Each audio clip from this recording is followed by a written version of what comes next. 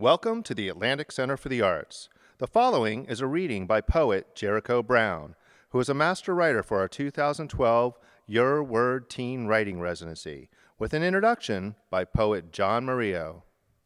Jericho Brown is the author of poetry collection Please, winner of the American Book Award, and also the recipient of the National Endowment for the Arts Fellowship, a Bunting Fellowship from the Radcliffe Institute at Harvard University, and a Whiting Writers Award, the coveted, most, most coveted Writing Writers Award. he was he was a finalist for the Lambda Literary Award, the Thom Gunn Award, and the Hurston Wright Poetry Prize. He has also received two travel fellowships to the Krakow Poetry Seminar in Poland. His poems appear in magazines including the American Poetry Review, Jubilat, Oxford American, Ploughshares, and A Public Space, and in anthologies such as the 100 Best African American Poems, edited by Nikki Giovanni. In this fall, he joins the creative writing faculty at Emory University in Atlanta, Georgia. Please give a warm round of applause for Jericho Brown.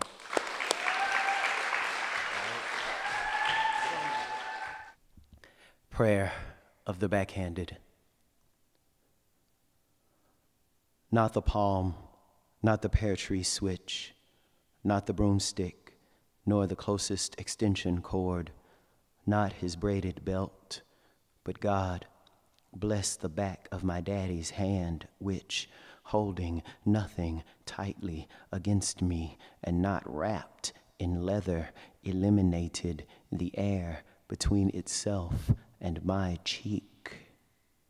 Make full this dimpled cheek unworthy of its unfisted print, and forgive my forgetting the love of a hand hungry for reflex, a hand that took no thought of its target, like hail from a blind sky, involuntary, fast, but brutal in its bruising. Father, I bear the bridge of what might have been a broken nose. I lift to you what was a busted lip.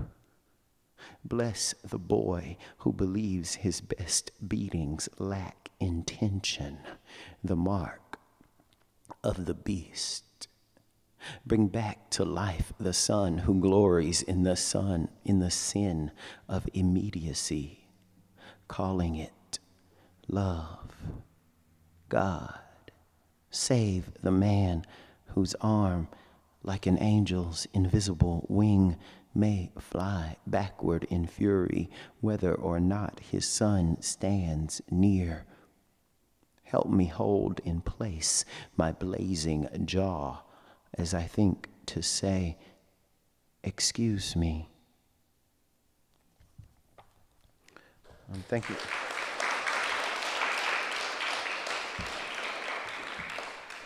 Um, I'm going to read a few poems from my first book, Please, and also read a few poems from um, a book I just finished writing, a manuscript I just finished called The New Testament. Um, and I'll give terms and background where necessary before reading the poems. Odd jobs. I spent what light Saturday sent sweating and learned to cuss, cutting grass for women kind enough to say they couldn't tell the damned difference between their mowed lawns and their vacuumed carpets just before handing over a $5 bill rolled tighter than a joint and asking me in to change a few light bulbs. I called those women old because they wouldn't move out of a chair without my help or walk without a hand at the base of their backs. I called them old and they must have been. They're all dead now, dead, and in the earth I once tended. The loneliest people have the earth to love, and not one friend, their own age, only mothers to baby them, and big sisters to boss them around. Women they want to please and pray for the chance to say please to. I don't do that kind of work anymore. My job is to look at the childhood I hated and say, I once had something to do with my hands.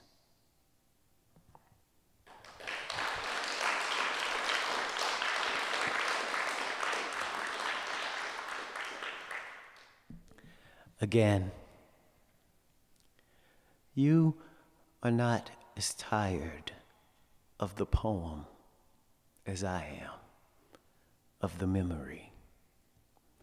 A returning toothache on either side of the mouth, an ingrown hair beneath the chin, simple itch, bruising, scratch.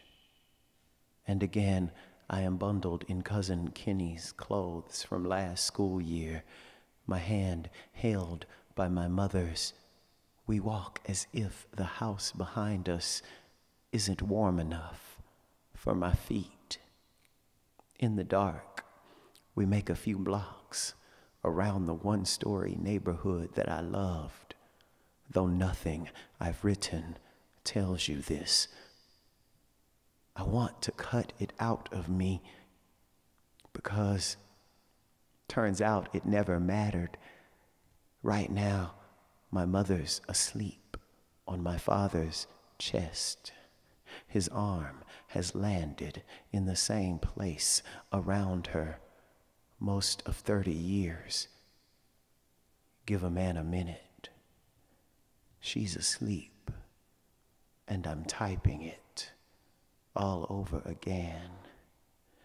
Everywhere, a man is shifting a bit to make his woman comfortable in his arms.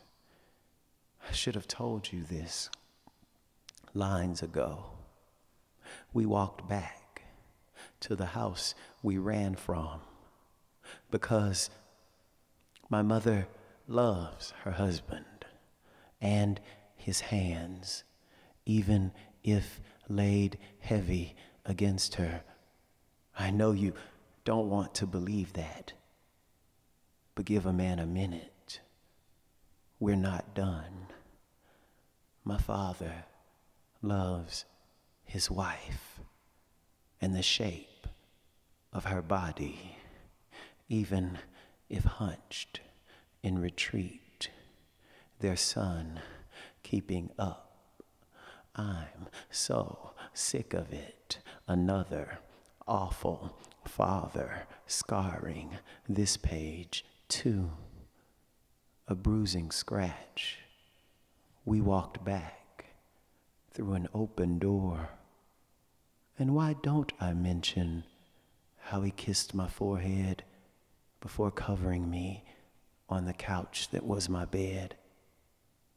Listen, and you can hear them in the next room planning names for the youngest of us, then making love loud enough for the oldest to learn.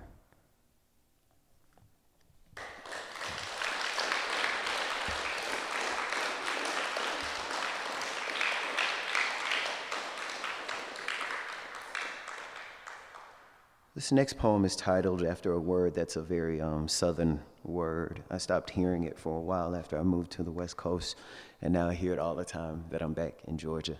Um, it's a word that means, um, it really means that person and all the people that you associate with that person, and it's usually, um, it's usually preceded by someone in somebody's family. Um, the word is the word is nim and so the way a phrase, uh, the way a sentence would work in which the word is used is um, Have you been over to your mom and them house? Or um, I'm about to, I'm finna go outside and play with Randy and them, like that. So. Nim. They said to say goodnight and not goodbye, unplugged the TV when it rained. They hid money in mattresses so to sleep on decisions. Some of their children were not their children. Some of their parents had no birth dates. They could sweat a cold out of you. They'd wake without an alarm telling them to. Even the short ones reached certain shelves. Even the skinny cooked animals too quick to get caught.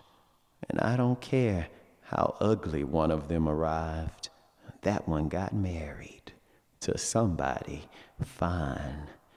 They fed families with change and wiped their kitchens clean. Then another century came. People like me forgot their names.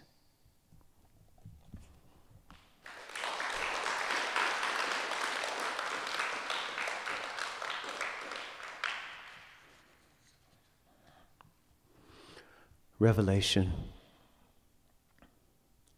This is the book of three diseases. Close it, and you're caught running from my life nearer its end now that you've come so far for a man sick in his blood, left long and mind. I think of him mornings. I wake panting like a runner after his best time. He sweats. He stops in front of what burned. The house that graced this open lot was a red brick. Children played there. Two boys. Their father actually came home. Mama cooked as if she had a right to the fire in her hands, to the bread I ate before I saw doctors who helped me fool you into believing I do anything other than the human thing. We breathe until we don't. Every last word is contagious.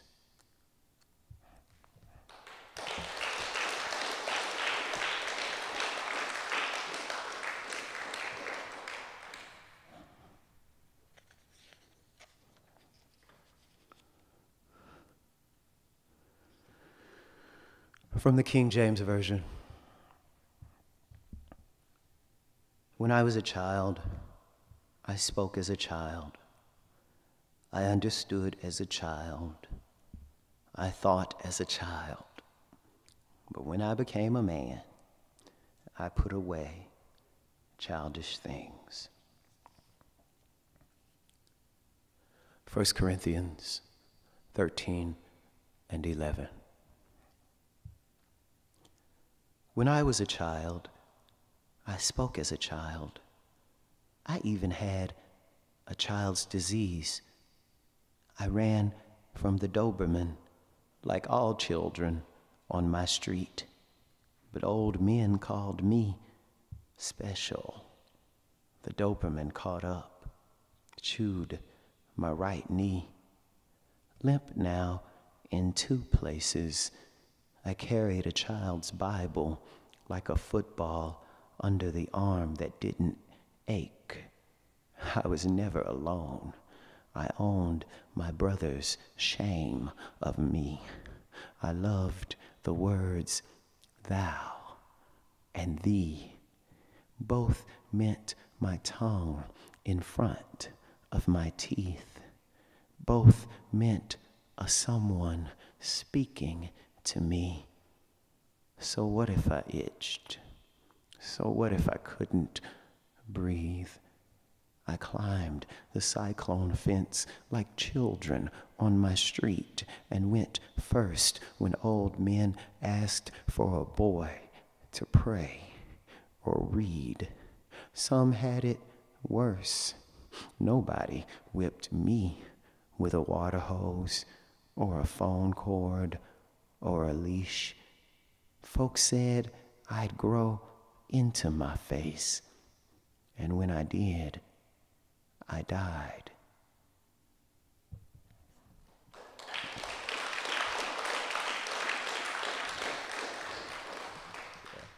Um, this, this, this next poem is written in the voice of um, the person I always think of as my first poet. Uh, and when I say that, I say that in the same, in the same way that we think of a, a first love or a first kiss. Uh, some, what I'll never forget is being a, um, being a kid. I was fortunate enough to have a mother who couldn't afford childcare, so she would drop, drop us off at the library when she needed us taken care of. Um, and we would, we would sit there and read books all day. And uh, I remember coming across these poems and, and, and falling in love, you know. Um, what do you need to know? Uh, the poem is written in the voice of the, the leading figure of the Harlem Renaissance, uh, who wrote The Negro Speaks of Rivers at the age of 18. Uh, every time I think about Langston Hughes writing The Negro Speaks of Rivers when he was only 18 years old. Do y'all know that poem, The Negro Speaks of Rivers? You have to read that poem. Go Google it as soon as you leave here. It's so good. Oh my God. Every time I think about him writing that when he was only 18, I really hate Langston Hughes. Um, the, the poem also mentions uh, the Empress of Blues, Bessie Smith, who was Langston Hughes's favorite singer. And um, it references his testimony before the U.S. House of Representatives Committee on un American activities during McCarthyism and the Red Scare of the, the 1950s. Langston, blue. O blood of the river of songs, O songs of the river of blood, let me lie down let my words lie sound in the mouths of men repeating their invocations, pure and perfect as the moans that mount in the mouth of Bessie Smith. Blues for the angels kicked out of heaven. Blues for the angels who miss them still. Blues for my people and whatever water they know. Oh, weary drinkers drinking from the bloody river, why go to heaven with Harlem so close? Why sing of rivers with a daddy of my own to miss? I remember him and taste a stain like blood coursing the body of a man chased by a mob. I write his running, his sweat. Here he climbs a poplar for the sky, but it is only sky. The river? Follow me. You'll see. We tried to fly and learned we couldn't swim.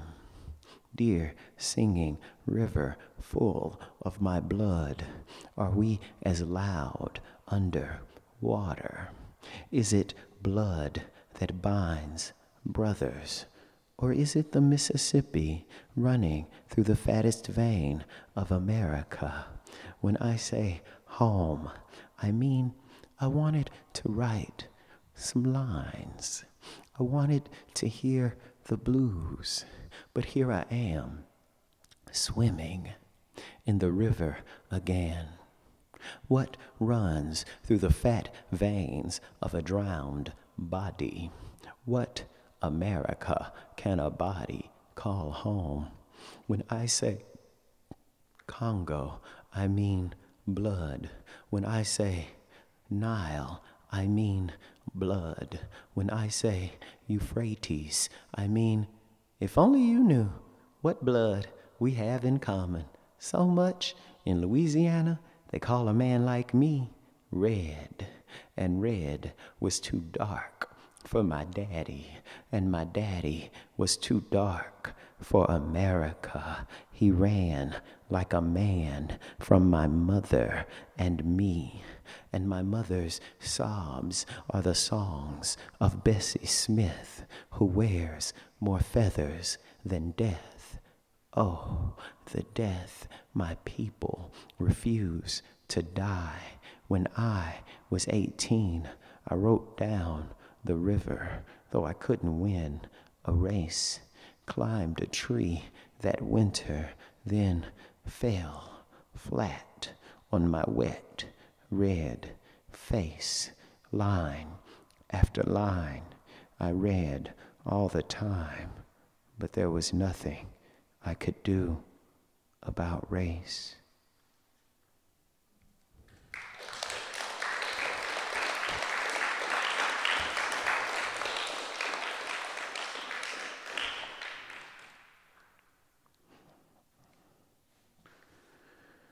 Janis Joplin recorded the Gershwin Standard Summertime with Big Brother and the Holding Company for their 1968 chart topping album, Cheap Thrills.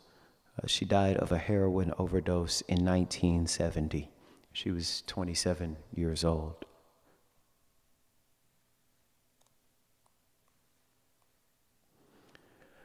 Track 5 Summertime, as performed by Janis Joplin.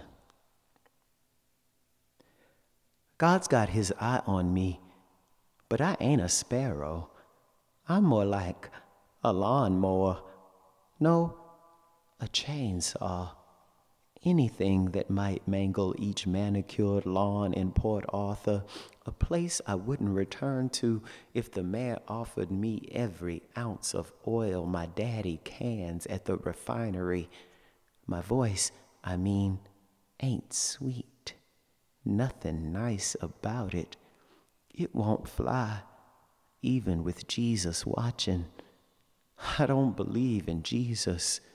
The Baxter boys climbed a tree just to throw persimmons at me. The good and perfect gifts from above hit like lightning, leave bruises. So I lied. I believe, but I don't think God likes me. The girls in the locker room slapped dirty pads across my face. They called me bitch but I never bit back. I ain't a dog. Chainsaw, I say. My voice hacks at you. I bet I tear my throat. I try so hard to sound jagged. I get high and say one thing so many times, like Willie Baker, who worked across the street. I saw some kids whip him with a belt while he repeated please. School out, summertime, and the living last. Mama said I should be thankful that the town's worse to coloreds than they are to me, that I'd grow out of my acne. God must love Willie Baker, all that leather, and still a please that sounds like music. See? I wouldn't know a sparrow from a mockingbird. The band plays, I just belt out, Please, this tune ain't half the blues. I should be thankful I get high and moan like a lawnmower so nobody notices I'm such an ugly girl. I'm such an ugly girl. I try to sing like a man. Boys call boy. I turn my face to God. I pray, I wish I could pour oil on everything green in Port Arthur.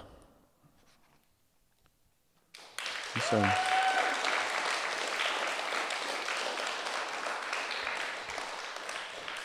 so the only the only thing you have to know for this next poem is the myth of Persephone, and to remind you, uh, Persephone was the daughter. Uh, in Greek mythology, Persephone is the daughter of Demeter, who's the goddess of agriculture. Uh, one day she was playing in a meadow. Um, the god of the underworld, Hades, sniffed her out, fell in love, kidnapped her, and took her back to the underworld. Um, while she was in the underworld, she ate Uh, you're not supposed to be eating while you're in the, in the underworld because if you do, then you don't um, get to come back to this world. Um, because she ate in the underworld, uh, the god, the king of the gods, Zeus, cut a deal with Demeter and Hades that he would have Persephone for half of the year, which is our um, which is our fall and winter, I imagine. Uh, since uh, during that time, Demeter is so sad to be without her daughter, she doesn't allow anything to grow. And uh, then Demeter gets her for the spring and the summer uh, because she's so happy to have her daughter back.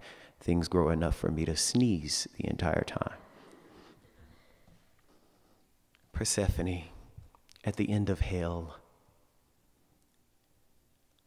But what if I love him? The one they call bad, the one they call black, the one with the gap in his teeth only I get to see.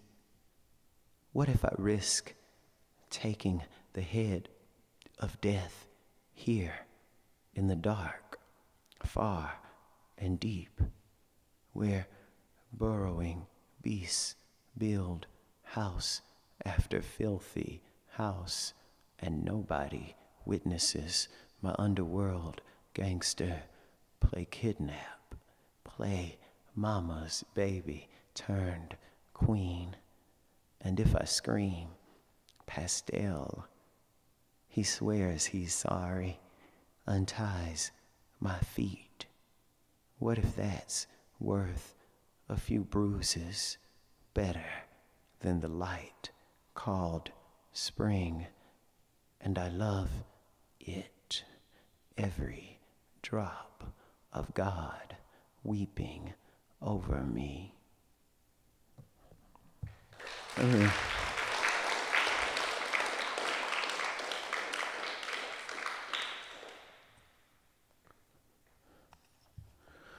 Turning 26.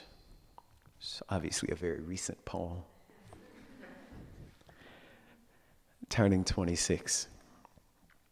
You remember me pushing shoulder first out of your body into a spiral of birthdays and bruises.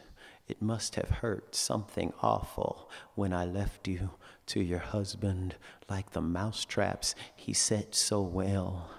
Now I am full of cake. I am sick with candles. I am 26 and skinny with a back too narrow to bear a cross or carry a woman from a burning house. I ran empty handed and can't reach far enough, all because I hold a grudge, a candle lodged at the portal of my throat. But we should sing happy birthday to me anyway, at the same time, in different cities. Celebrate, like light candles, and make a wish for me. I'll light mine and burn like your house.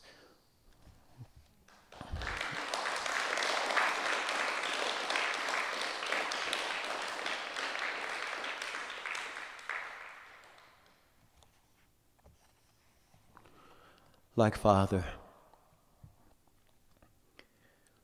my Father's embrace is tighter now that he knows. He is not the only man in my life. He whispers, Remember when? And I love you, as he holds my hand, hungry for a discussion of Bible scriptures over breakfast.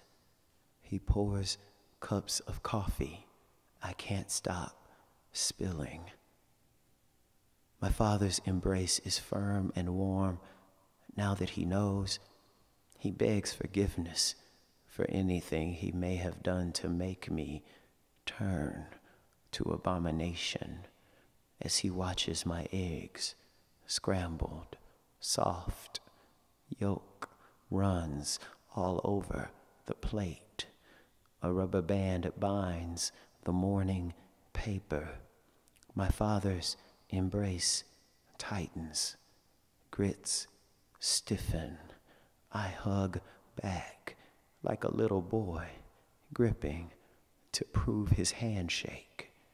Daddy squeezes me close, but I cannot feel his heartbeat, and he cannot hear mine. There is too much flesh between us, two men in love. Thank you.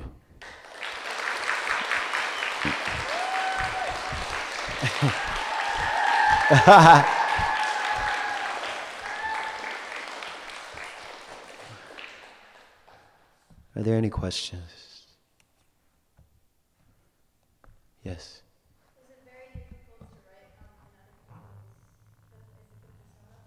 Yeah. It's easier actually for me. In the moment of writing a persona poem, I actually feel more like myself um, and more free to say whatever the hell I want to say.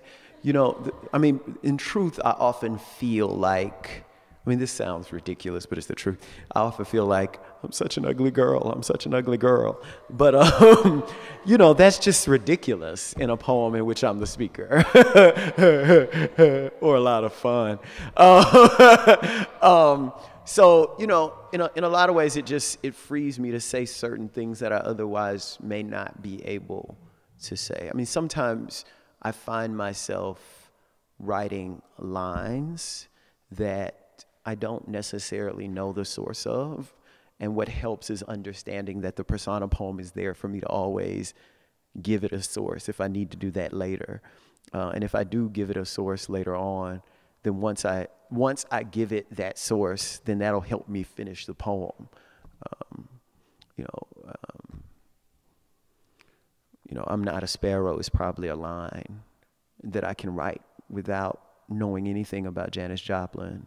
But then because I love Janis Joplin and I know a few things about her, I can then follow that up with some things about Port Arthur, Port Arthur, Texas, a place that I'm not from because I know about her. Do you understand what I'm saying? So,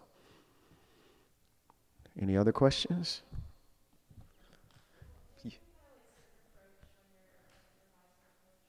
Do I what?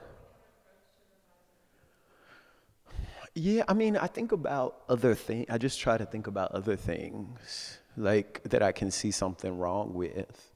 And then I try to apply that to the poem, which means it's something I was telling y'all earlier today, it's something I can't really translate. So I think about a performance that I really like, right?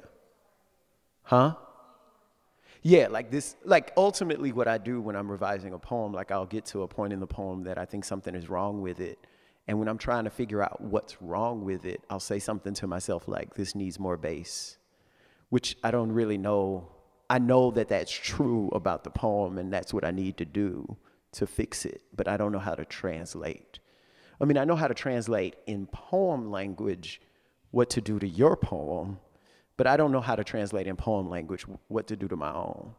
You know, so I can I can be in the middle of writing a poem and think to myself, now it's got to holla, or now it's got to hit a high note, or do you know what I'm saying? Or like, why is there no piano solo?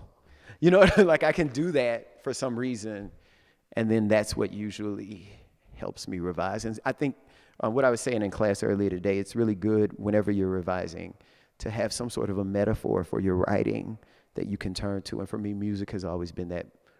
I mean, there's other things that have been the metaphor, maybe something like running, because I can think about pacing or, or something like that, or like track and field and that kind of stuff. But, but some, some music is really, for me, a really good metaphor to turn to. And I, I don't think it has to be music for everybody. I think it has to be that other thing that you love doing, even if that other thing is just talking on the phone. Like, how is that like what you're trying to accomplish? You know, how is having a good conversation like what you're trying to accomplish in this poem or, or whatever? You know? Yeah. Um, it depends on the poem. It's usually about an hour. Yeah. No, I'm lying. No, I mean this. No, that's true. That's actually true. I said that to Nicole yesterday, and I think she got mad at me or something. It usually, it takes me about an hour. The problem that I have as a human being that I probably shouldn't say is that there's a lot of distance between poems for me where I'm very upset. I'm collecting lines. Like I collected a few lines today and yesterday that were said in class. Like people say things and I type those things out. And then I, okay. And then I, um, and then I'll go back and I look at those at some point. I try to make poems out of those. But I always have like a running list of things. And at some point, I mean, and I'm always looking back at those things. And at some point, I get overtaken by one of them or some of them so that they're always, excuse me, so that they're always like in my mind. Do, do you understand what I mean? Um, and then once I get overtaken by them in the, in my mind and they start like making themselves into something, that's when I go to the computer and I sit down. But because they they're they're sort of formed in a way in my mind when I sit down, it's it's like transcribing. Do do you know what I mean? So it's like the, the other thing is, I mean, what's different between me and probably the way Nicole writes a poem is that when I write a poem, I sit down, I write the poem, and I think it's good and then I don't look at it again until I've written 60 other poems, um, which is problematic for me because I don't, like a lot of poem people, a lot of poets send out to magazines, but I've never sent out to magazines at the moment of, oh, I wrote a good, I finished this poem now, I put it with the batch. I don't do that. I just let the poems revise each other. So the only reason it actually takes me an hour to write a poem it probably takes more than an hour, but that's only because I need like 60 other poems to figure out what that one poem is about or what it needs to do or how its line breaks look or how it needs to be different from those other 60 or how it needs to be like those other 60. Do you understand what I'm saying? So then like I guess that is another 30 minutes. So maybe it's an hour and a half. Uh Exactly, exactly, exactly. Because like after I write, I really do. Like after I write a poem, I don't really think I've written a poem. Like I just kind of put it away, and I trust that there'll be other poems. And then when there are other poems, that's when I'm like, okay, now it's time. The problem is, in order to write like that, you have to be patient enough to wait like four years, which is pretty much what I do. Because it's not like I got anything. I have plenty to do in the meantime, you know. So, thank you.